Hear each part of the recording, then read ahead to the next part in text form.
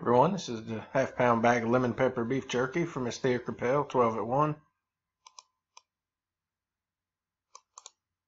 Copy our list. Go live. 341. Paste our list. Roll our dice, need a 4 or higher. 341. 2 is no good. We got a 6. 341, 6 times. 12 items on the list. 2, 3, 4, 5. 12 items on the list. Miss Tessa on top, Danny on the bottom. Randomized 5 times. Dice called for a 6.